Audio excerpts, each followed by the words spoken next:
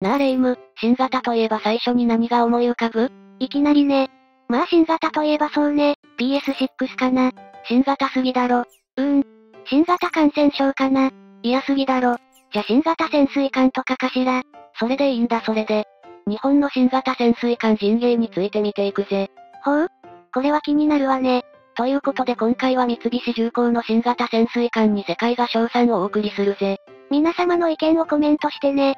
それでは皆さん最後までゆっくりしていってね。冒頭でも話したが、日本の新型潜水艦陣営がついに誕生したな。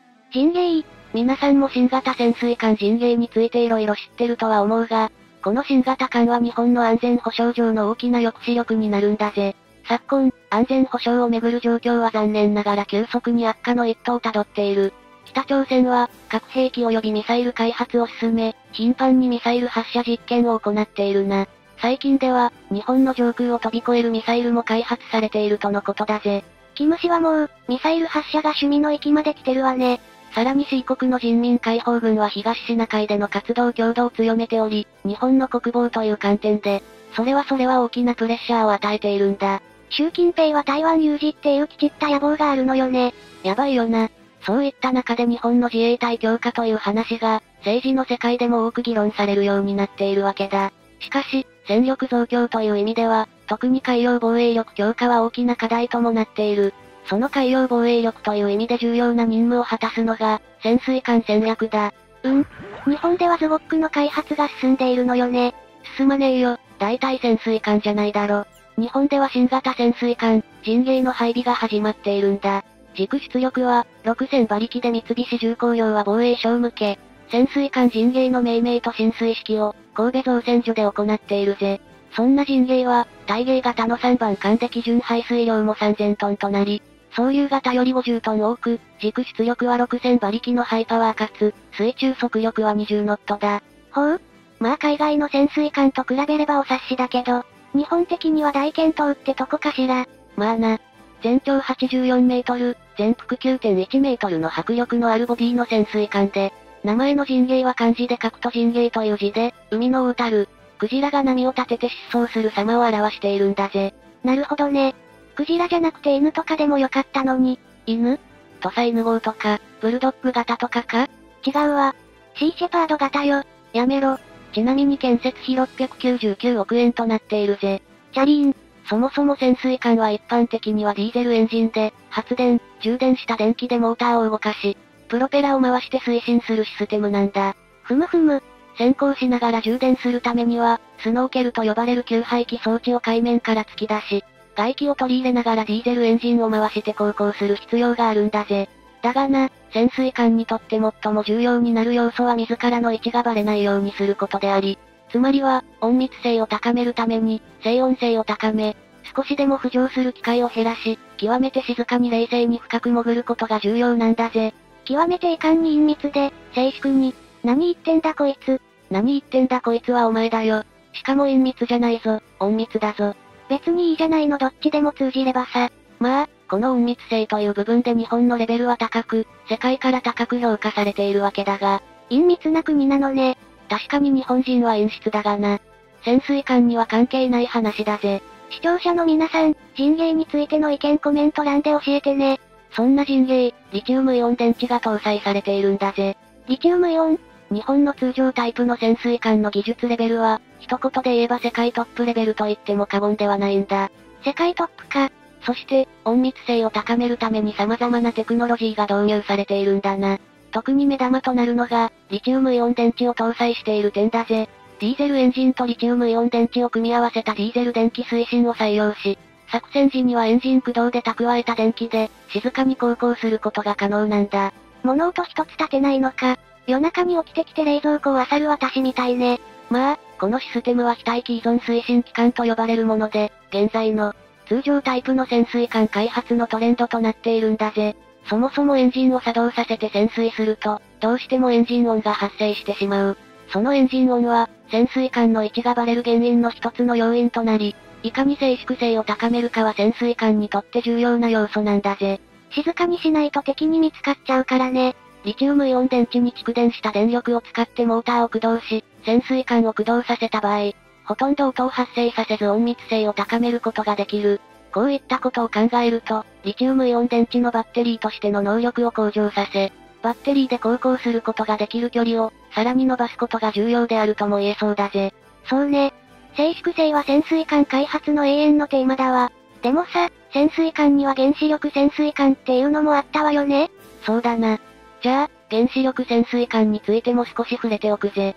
原子力潜水艦では原子炉から動力を得ているんだが、これにより、理論的には無限に潜水航行をすることができるんだな。無、無限今すぐ源泉に乗り換えよマリサ。もう通常動力型なんて作ってらんねえただ、原子炉は稼働させたり止めたりすることはできないので、タービンを回し続ける必要があり、静音性という意味では非待機依存推進機関に軍配があるがな。ほう？一長一短とな？そういうことだ。そして、日本の総流と大芸の違いについても解説していくが、総流型はディーゼル潜水艦で、低振動で静粛性に優れ、世界有数の高性能艦として知られているんだぜ。総流ね。世界的にも人気というか話題よね。ああ。そして、大芸はその性能向上型なんだな。高性能シュノーケルを装備し高校性能を高め、光ファイバー技術を用いた新型の高性能ソーナーシステムを装備して、敵艦などへの探知能力を向上させているぜ。ほほうでも防御は貧弱豆腐野郎なんでしょう？防御面では潜水艦魚雷防御システムが導入され、敵潜水艦から発射された魚雷を探知した時に、船のスクリュー音を模擬した V やおとりを発射し、魚雷が時間に向かってくるのを回避するシステムがあるんだぜ。おお、おとり要員がいるってことね。いねえよ、なんで隊員をおとりにするんだよ。でも攻撃力はポンコツなんでしょう？武装面では対艦ミサイル UGM84L ハープンブロック2を搭載可能だぜ。このミサイルは国際軍事情報グループのイギリスジェーンズによると、ミサイルの射程は248キロとされており、地上への攻撃も接近すれば可能であり、打撃力としては十分な武装と言えるようだぜ。講師ともに好きなしか。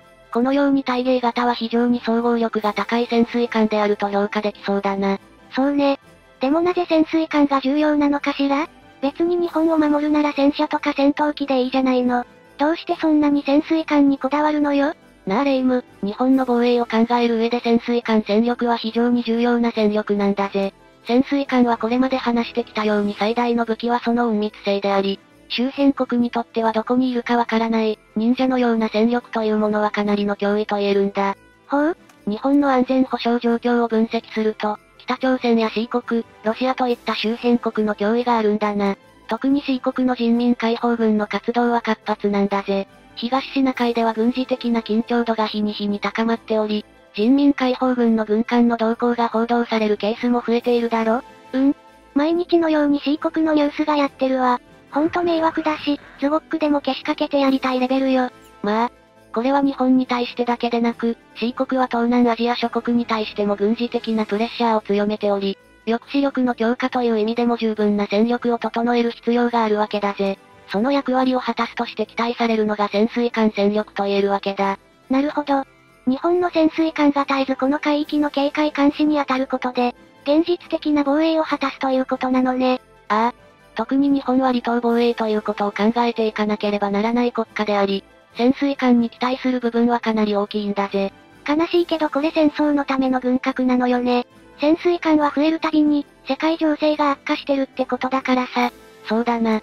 さて、海上自衛隊は2010年12月の防衛大綱に定めていた潜水艦22隻体制を達成し、本格運用を開始している。海上幕僚幹部広報室は、大芸型が合計で何隻建造されるかは決まっていないと説明しているな。だが、旧型の親潮型、旧隻は順次退役していくことから、今後もそれを保管する形で建造されていくと思うがな。ただこの体制でもまだまだ潜水艦の戦力としては心もとないという声も上がっているんだ。そうなの？じゃあ何隻くらい必要なのよ ?C 国にプレッシャーを与えるためには最低でも30隻は必要という声もあるぜ。30隻？到底無理な数ですわ。自由で開かれたインド太平洋構想を実現するためには必要性は妥当であると言えるぜ。お金さえあればね。まあ裏金ならあるんだけども。そういった意味でも日本の潜水艦戦力がどうなっていくのかという部分は注目を集めているな。もっと潜水艦欲しいわ。ふみお、頑張ってちょうだい。それでは、世界に誇る日本の潜水艦技術についても解説していくぜ。お願いね。世界的な軍事的な緊張感は、残念ながら高まりを見せているんだ。ロシアのウクライナ侵攻や、C 国の台湾有事の可能性など、実際の、軍事力の行使が残念ながら見受けられる世界情勢だからな。そうね。渓谷の竹島防衛有事とかキムチ頂上決戦とかね。そういった世界情勢の中で、これまで以上に軍事的なテクノロジーに注目が集まっており、その中でも潜水艦ジャンルは非常にフォーカスされているんだぜ。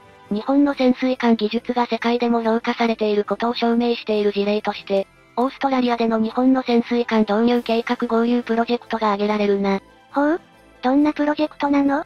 このプロジェクトは日本産の潜水艦をオーストラリアに輸出しようというものだぜ。おお、それで輸出されたの？まあ、結局は輸出されなかったぜ。